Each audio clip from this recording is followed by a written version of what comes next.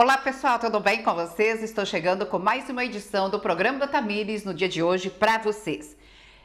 Uma das perguntas para o Dr. Augusto Legnani Neto, do Ofta Vita, Hospital Oftalmológico da cidade de Umuarama, no Paraná. Doutor Augusto, é verdade que ficar no sol sem a proteção nos olhos pode causar conjuntivite e ceratite? Será? Doutor Augusto Legnani Neto estará respondendo para vocês. Eu vou para o apoio cultural e volto já já com o Dr. Augusto.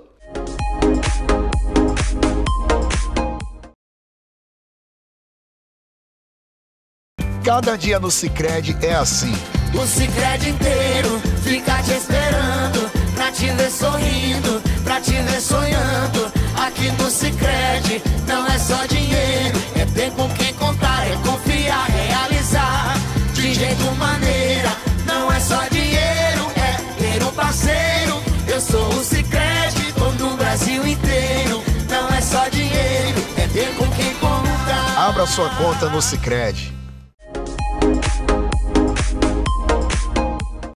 Já de volta, então, né, do nosso apoio cultural, já estou com o doutor Augusto Legnani Neto, oftalmologista, cirurgião, e eu tenho maior orgulho em falar que ele é professor universitário também, né? Ah, e colunista. Eu não sei se ele já está fazendo sucesso como colunista, igual no programa da Tamires, porque nós temos o maior orgulho de ter ele no programa da Tamires, e mês, do, mês de junho estaremos completando juntos 18 anos.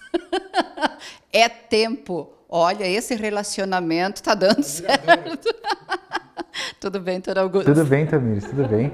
É um prazer estar aqui há 18 anos. Meu Deus, gente, né? Parece que começou tudo ontem e já estamos aí é, nessa parceria há 18 anos. Eu tenho o maior orgulho porque um profissional que entrou no programa da Tamires timidamente e hoje o doutor Augusto é sucesso até fora.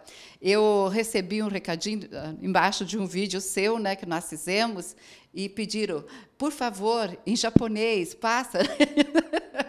Para mim traduzir fica meio difícil, mas tem tradutor e nós vamos cuidar disso. Todos vocês do Japão que estão acompanhando, é, Teresa Miami, ela que acompanha o programa da Tamires, diz que a irmã dela também. Eu achei muito bacana o seu Paulo Kimura. E Olha, no medida do possível, a gente vai passando isso aí para vocês de uma forma que vocês possam entender, tá bom? Então, o doutor Augusto é um sucesso, sempre foi. Olha, na abertura do programa, eu coloquei para eles, doutor Augusto, sobre se é verdade, porque nós fizemos a matéria do sol, lembra? É, é, verdade que ficar no sol sem proteção nos olhos pode causar a conjuntivite e ceratite? Essa pergunta nem, nunca veio para a gente. Mas, esses dias a gente falou sobre, né? O óculos escuro. Com certeza. Mas é uma coisa interessante. É mais comum essa ceratite em locais com neve. Hum? É, porque o que acontece? Quando o sol reflete, aí você tem o sol refletindo na neve e acertando o olho também. Então você tem a incidência solar por dois locais. Então isso pode cair na córnea? Pode. A incidência superior, ela tem uma certa proteção por causa da projeção das nossas frontes aqui do osso frontal, que ele oferece uma certa proteção para o olho. Mas quando o raio vem indiretamente pelo chão, ele a, a causa de ceratite é muito mais importante. É conhecido como cegueira da neve, snow blind, quando a pessoa vai andar na neve por muito tempo e tem um sol com uma incidência muito forte, aquela neve causa uma ceratite que pode ser grave. Também pode acontecer nas dunas, nos desertos de areia, que a reflexão também é mais alta. Nos locais normais, onde a incidência do sol é normal, é mais difícil de acontecer essa ceratite só com a incidência direta, tá? A gente vê algumas vezes em pacientes que vão ficam muito tempo no rio. A reflexão do rio também causa essa ceratite. Então a gente recomenda sim, é muito importante, óculos com proteção ocular e polarizado. Então, e na piscina com bastante sol? Também é um risco mas nada igual à neve. A neve tem óculos especiais, tem essas marcas que são de esportes radicais, como Oakley, que elas fazem óculos especiais para neve, que o nível de escurecimento dele é muito maior do que um óculos normal. Então tem uma graduação de escurecimento desses óculos que para os óculos de neve é muito maior. Então a gente recomenda isso para os óculos na neve e para os óculos que vão pescar, pessoal que vai pescar que também tem uma alta reflexão por causa da reflexão que acontece na água, tá? Então, óculos polarizado de alta intensidade, de alto escurecimento. Isso é muito importante para esses, principalmente para esses esportes aí, onde a reflexão do chão, da, da água, da superfície é importante. Agora você fica falando assim, eu fico pensando, mas aquelas pessoas que não enxergam lá muito bem, né, com óculos bem escuros na neve, e daí? Tem que fazer a correção da visão atrás do óculos.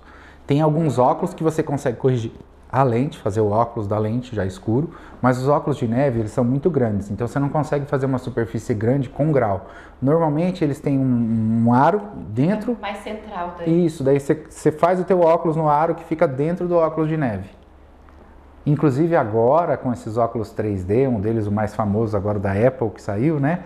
Que até tem os vídeos das pessoas andando com ele na rua, né?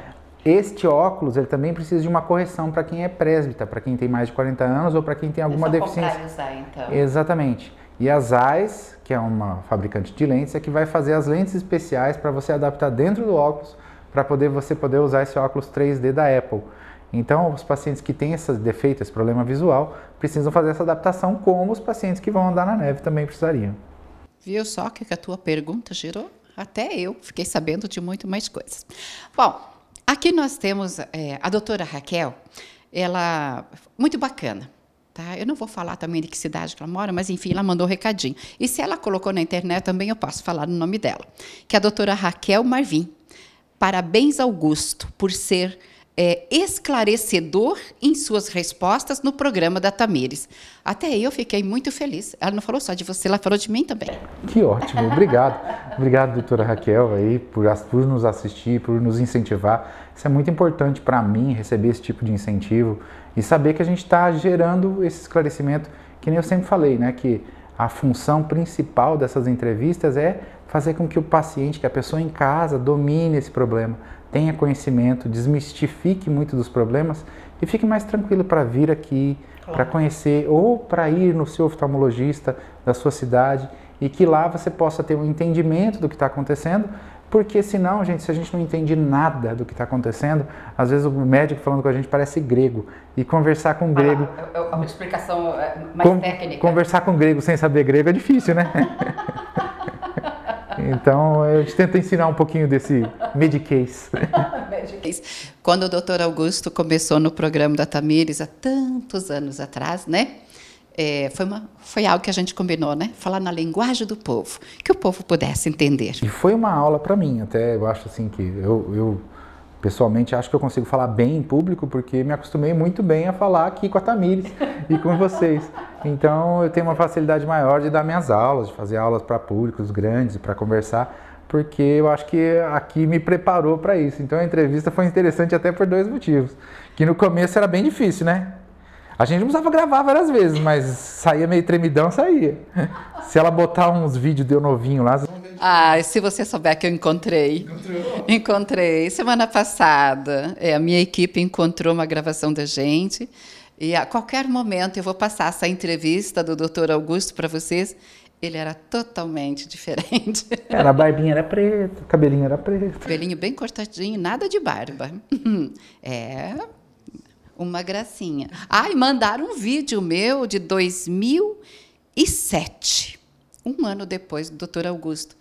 Como eu era engraçadinha. A gente não ficou mais novo, não, Tamires? Eu achei que a gente ia ficar mais novo. Eu pesava 56 quilos, bem diferente. Qualquer hora eu vou passar. A minha imagem só, porque a pessoa que eu entrevistei, infelizmente, faleceu. Né?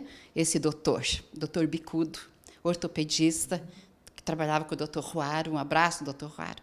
Então, eu também tenho a minha, bem diferente, muito diferente. Bom, vamos lá. É, doutor Augusto, eu fiz a cirurgia de catarata e o pós-operatório ficou meio estranho.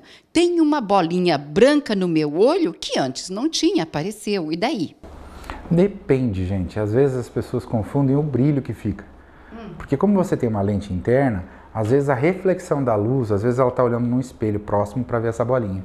E se tiver uma luz próxima, essa luz pode refletir na lente e refletir de volta na córnea faz um raio refletido. E daí você pode ver o brilho na córnea da luz que está em cima, porque bateu na lente e voltou. Então, às vezes, essa bolinha é disso. Se for uma bolinha lá na periferia da córnea, no cantinho superior, tá? Geralmente no canto externo ou interno, no canto superior da córnea, pode ser a incisão por onde se passou o aparelho para fazer a facomulsificação. Aí ele pode ficar esbranquiçado por algum tempo. Por algum tempo. Quer É, dizer que pode se, sumir. se for nos cantinhos superiores, pode estar ali essa incisão e vai sumir. Agora, se for no- mais no meio da córnea e não estiver atrapalhando a visão dela, Uhum. aí pode ser só reflexão, porque como tem uma lente ali, a luz pode bater na lente e voltar para a córnea. São dois meios reflexivos, é. aí faz uns brilhos diferentes. Às vezes você olha assim, tem um brilho que não tem no outro olho, porque o outro olho tem o cristalino normal, né? Ele é meio opaco, ele absorve mais a luz. A lente tem uma- um- um- um tanto de reflexão. Ótimo. Outra pergunta que vem em cima de uma da, da cirurgia de catarata que você também falou esses dias. A visão embaçada após a cirurgia de catarata tem como corrigir, doutor, ou não? Sim, a visão. Bom, existem várias maneiras de se corrigir a visão é, após a cirurgia e durante a cirurgia. Existem pacientes que optam por lentes para a correção da visão. Então, esses pacientes eles vão ter uma lente especial feita no grau dele para que ele não precise usar óculos após a cirurgia. São lentes multifocais, como a que Tamires usa, né? Então, esses pacientes eles têm que terminar a cirurgia, têm que estar enxergando bem. Mas caso da Tamires, se por acaso tivesse um problema e a lente não ficasse 100% perfeita, o grau não tivesse conseguido acertar no zero, dá para a gente fazer um laser por cima e corrigir esse grau. Se por acaso o erro for muito grande, eu posso trocar a lente também. Mas na maioria das vezes, gente, a gente faz a cirurgia e o paciente opta pela lente importada, mas não uma lente para correção específica do grau. Então, esses pacientes, após a cirurgia, precisam de um óculos para fazer a correção desse resto de refração que ficou ali, tá? Então, o mais comum é que a gente faça a cirurgia e os pacientes precisem de óculos sobre a cirurgia. Porque não é a maioria que paga por, um, por uma lente que é mais cara, por uma coisa que é mais, mais delicada ali para se fazer, para se conseguir essa visão sem o óculos. Então, mais provável é que você tenha que pôr um óculos, só isso. Mas vale a pena. Eu acho muito importante a lente intraocular. Nossa, gente, é uma benção. Sabe por que, que eu falo? Eu vou falar de mulher para mulher. É, é o seguinte: nós mulheres gostamos de, de, de ficar se maquiando. Quando eu falo em maquiagem, eu lembro dele, porque ele fala que as mulheres se maquiam no final de semana, vão na quinta-feira, estão com maquiagem nos olhos. Uma semana depois. Sempre eu lembro disso. Uma semana depois. Você usou maquiagem ontem? Não, usei sábado. Uma semana, tá lá. É verdade, sempre eu lembro disso. Mas para nós mulheres que nos maquiamos, é, é, tão gostoso poder maquiar o olho, né? deixar o olho bonito, bem, bem contornadinho, e ficar sem o óculos. O óculos tira um pouco, ela camufla a beleza dos olhos. Então, sempre eu, eu falo da lente. E não é só, É muito né? importante. Quando você tem a lente de perto, você consegue maquiar o seu olho, porque senão você tem que colocar o óculos, ver se está reto, tira o Isso, óculos, tira. passa por. Viu? E, e- porque você não tem a visão de perto, né? Isso Normalmente é a pior mesmo. parte. Aí você vai tentar fazer uma linha no olho. Só no rumo é difícil, né? Esse oftalmologista bem informado. É bem por aí mesmo. É difícil. Não, elas me falam aqui. é, às vezes dá eu, vou, eu vou tentar, vou tentar, não consigo. Eu, o que, que eu faço? Eu até falo que existem óculos, é que aqui em Morama eu nunca vi esse tipo de armação, mas existem óculos em que a armação levanta um lado. Para você fazer e com essa lente abaixada, daí você abaixa essa, levanta essa, Próprio para maquiar. próprio para maquiar, porque é uma, é uma dificuldade que é muito comum em todo mundo que tem óculos para perto. 100% lente, gente. Sério, eu falo isso porque eu não me adaptei. Até eu achei uma, uma, um vídeo meu também, no tempo que eu usava óculos, há muitos anos atrás. Mas eu prefiro a lente de contato. Vamos lá. É, vocês falaram esses dias sobre o sol e o óculos escuro no programa. O que eu quero saber, de fato, se o sol danificou a retina, entre aspas, queimou, se tem tratamento, logicamente, claro, a cura. É. Então, a gente já falou de cura, né? Cura em medicina é complicado. Existem vários tratamentos, mas quando a queimadura é a retinopatia solar, quando o sol causou uma queimadura na retina, essa é irreversível. É. Agora, se for uma ceratite solar, o tecido da córnea se regenera muito bem. Então, uma ceratite solar vai melhorar. Então, a ceratite é bem mais superficial. Agora, uma queimadura retiniana aqueles pacientes que olharam o eclipse. Você lembra que a gente falou? Lembro. Aqueles pacientes que olharam o eclipse, a gente vê uma lesão lá que é irreversível. Não existe tratamento para esse tipo de queimadura ainda na medicina. Viu só o quanto que é sério, gente? Muito sério. Mas pra, eu quero mandar um beijo, um abraço para a professora Maria de Lourdes, aqui do nosso município de Umarama, é, que passou a acompanhar nosso programa. Eu postei lá o vídeo do doutor Augusto, né? É, sobre a matéria do dia, e ela falou: vou começar a acompanhar, eu vou assistir. Então, eu acho, a ceratocone, acho que é a matéria que ela iria acompanhar, que é uma matéria também muito importante. Seja bem-vinda, minha amiga, que Deus abençoe você. É, eu, eu, o, o pessoal já de Cianorte já começou, manda beijo, manda abraço para Cianorte. Beijos e abraços para o pessoal de Cianorte. Cianorte, nós estamos pertinho aqui. Se vocês quiserem vir conhecer Verdade. o, o Off da Vita, eu acho que vocês vão gostar do É ambiente. bem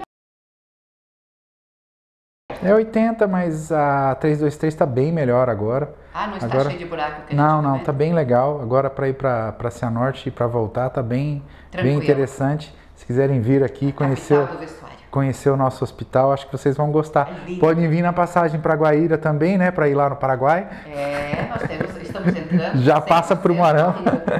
Já passa para o Moarama, já vai para o Paraguai, consulta e já vai fazer um- uma viagem internacional. Um tour.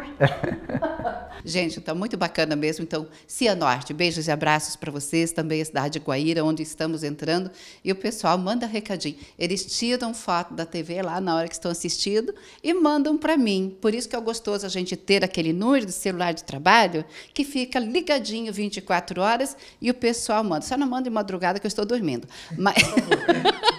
Mas está ligado, pode mandar qualquer horário e eu respondo pela manhã, isso é muito bom. E o nosso e-mail, onde que as pessoas gostam de mandar também as perguntas para o doutor Augusto e todos os outros entrevistados, né?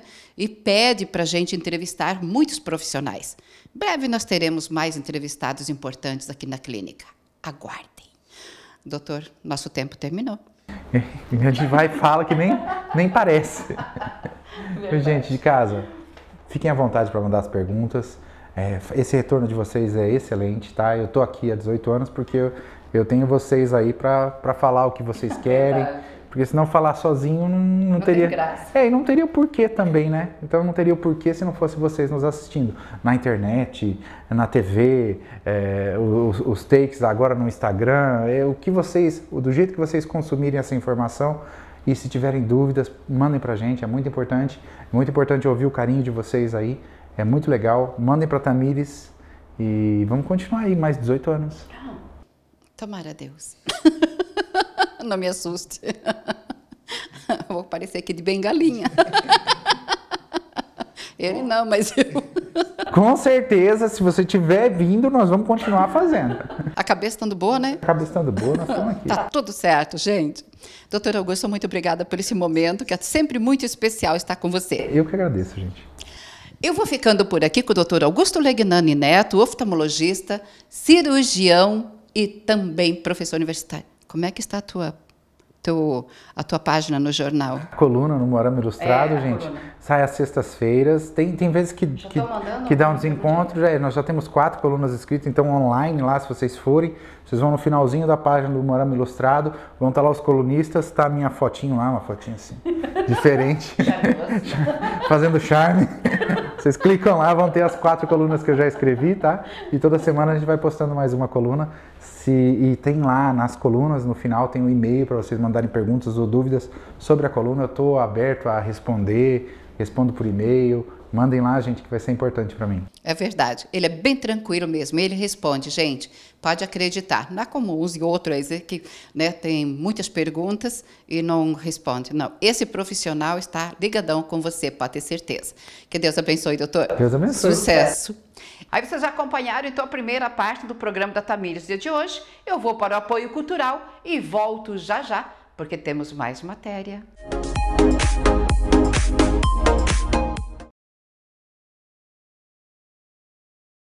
Cada dia no Sicredi é assim. O Sicredi inteiro fica te esperando pra te ver sorrindo, pra te ver sonhando. Aqui no Sicredi não é só dinheiro, é ter com quem contar, é confiar, realizar de jeito maneira. Não é só dinheiro, é ter um parceiro. Eu sou o Sicredi, tô no Brasil inteiro. Não é só dinheiro, é ter com quem contar. Abra sua conta no Sicredi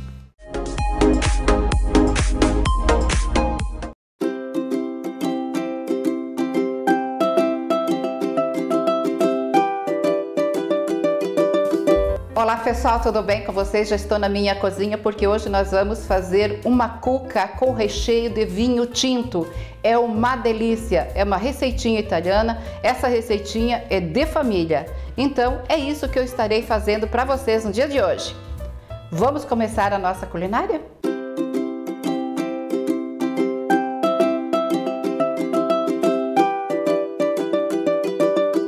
Olá pessoal, tudo bem com vocês? Hoje a minha culinária é uma cuca com recheio de vinho tinto. Vamos aos ingredientes. Aqui nós temos duas xícaras tipo chá de farinha de trigo. Vamos com uma xícara de farinha de aveia. Vamos tirar de cena, vamos com nosso açúcar demerara, uma xícara. Três ovos ligeiramente batidos meia xícara de óleo de girassol. Sempre a mesma xícara que você usa é, no começo da receita, você usa ela até o fim. Aqui nós temos uma noz moscada inteira, né, esfarelada grosseiramente. Aqui nós temos o nosso fermento em pó, uma colher tipo sopa. Aqui nós temos uma xícara de leite. Agora nós vamos com outros ingredientes que é para o recheio. Aqui vocês estão observando que eu tenho vinho tinto e água. Então o que, que você vai fazer? Você vai colocar meio a meio, uma xícara de vinho e uma xícara de água. Por quê? Porque o vinho tinto, ele é forte. Então você tem que maneirar bem. Duas colheres de amido de milho, duas colheres de açúcar que vai no nosso recheio, junto com o amido com o ovinho. A cobertura da nossa cuca: duas colheres de amido de milho, 100 gramas de coco ralado, duas colheres de açúcar que vai na cobertura também, uma colher de margarina sem sal. Vamos começar a fazer a nossa cuca então com recheio de vinho no dia de hoje? Bom, vamos começar com ovos meia xícara de óleo. Vamos colocar uma xícara de açúcar. Uma xícara de aveia, uma xícara de açúcar. Então aqui está a nossa noz moscada. Vamos triturar esse aqui e daí já vamos colocando outros ingredientes.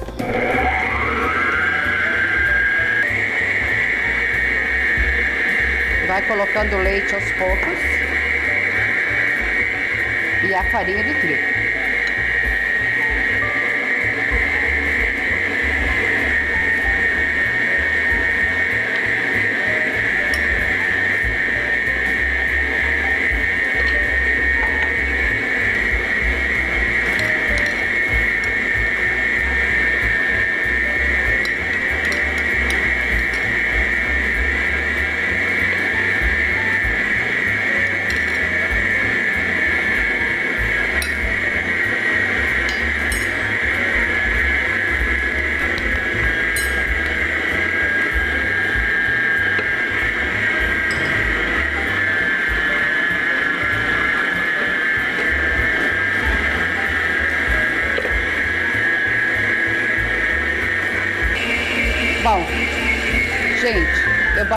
Ela acho que uns, uns 6, 7 minutos. Agora vamos com o fermento. Vocês sabem muito bem que o fermento, quando você coloca, né, nosso fermento em pó, então você tem que cuidar para não bater muito. Só uma batidinha bem rapidinha.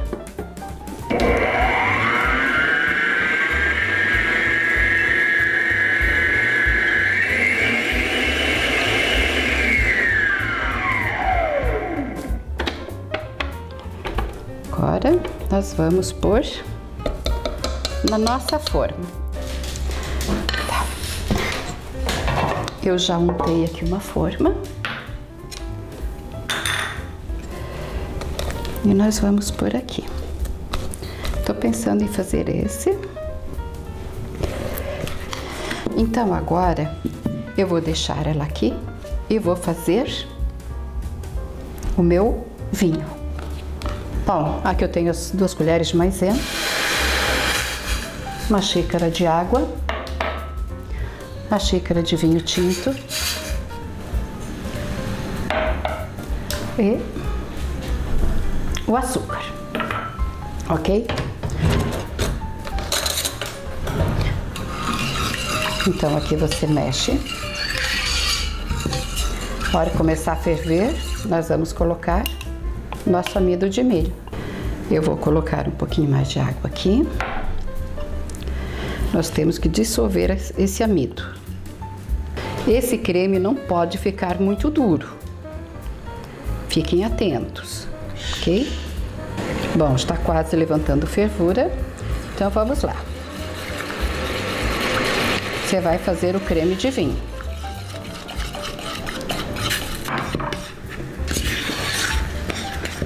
Olha que creme bonito que fica. Baixa um pouquinho o fogo.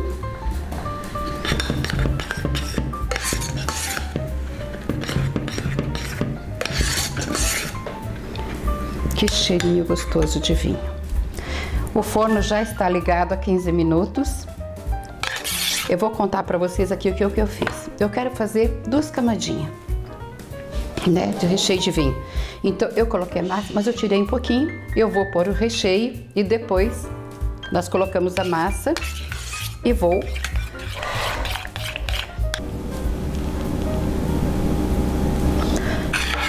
Você faz assim.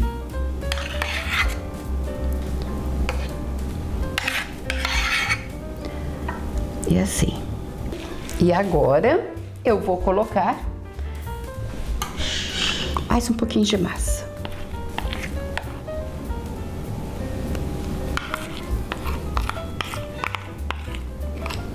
E agora mais um pouquinho do nosso creme.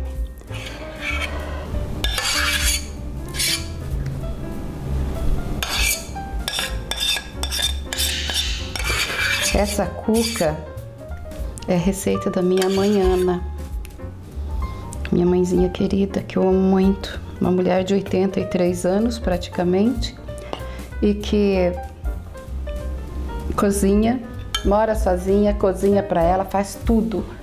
É uma benção. Agora o que, que eu vou fazer? Eu vou colocar a cobertura da cuca. Vamos fazer. Vamos deixar isso aqui de ladinho e vamos começar a fazer a cobertura. Duas colheres de açúcar. Eu estou usando o açúcar, é açúcar grosso. Duas colheres de amido, uma colher de margarina sem sal. Aqui eu vou colocar o coco. Eu tenho 100 gramas de coco aqui, tá? Então o que, que eu vou fazer? Agora mão na massa e vamos mexer até formar isso aqui num farelinho. Quando você fizer as suas coisas, procure usar luvas, esteriliza tudo que está por perto de você. A gente cuida muito disso.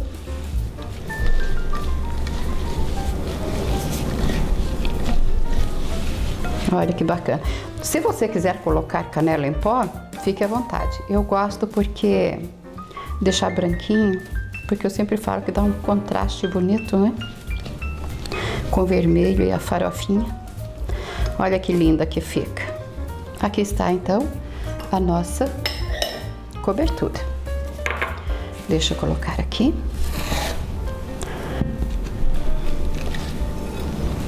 É claro que eu fiz cobertura até demais aqui, né? Isso aqui é quase que para uma forma grande.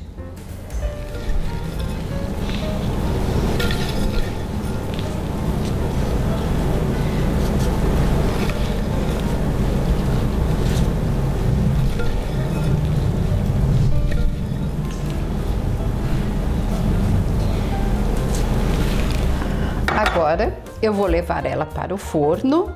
Ela ficará no forno de 35 a 40 minutos, depende de forno para forno.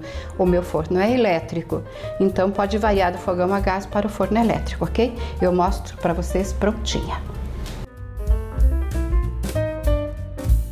Vamos tirar a nossa cuca do forno. Olha que linda.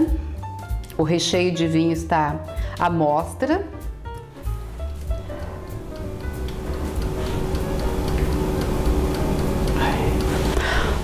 E vamos levar para a nossa bancada. Pessoal, aqui está a minha cuca, super quente, tirei do forno agora.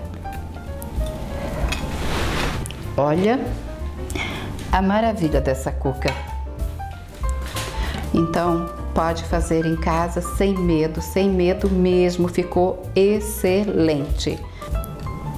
Não ficou, não ficou batumada como o pessoal fala, ela ficou fofinha. Olha só, o vinho. Vamos experimentar a culinária. Eu vou pegar a parte que tem vinho, porque amo vinho, viu? Hum, hum.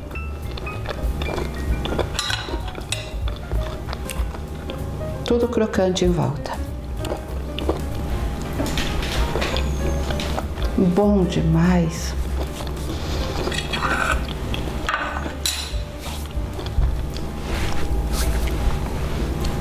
Essa é a nossa culinária do programa da Tamires no dia de hoje. Não esqueça de entrar lá no nosso canal no YouTube, curtir nosso trabalho, inscrever-se. Eu tenho certeza que através do programa da Tamires vocês vão ter muitas receitas e também entrevistas importantes. Eu conto com vocês. Entre lá e inscrevam-se.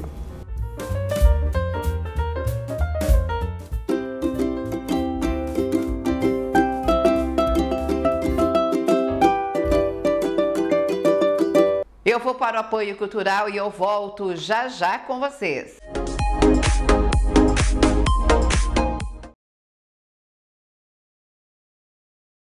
Cada dia no Sicredi é assim. O Sicredi inteiro fica te esperando pra te ver sorrindo, pra te ver sonhando. Aqui no Sicredi não é só dinheiro, é ter com quem contar, é confiar, realizar de jeito maneira.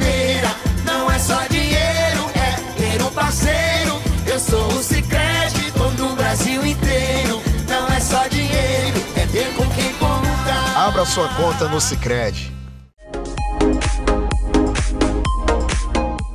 E o programa da Tamires vai ficando por aqui. Eu deixo meu beijo, meu abraço. Obrigada pelo carinho e atenção de vocês.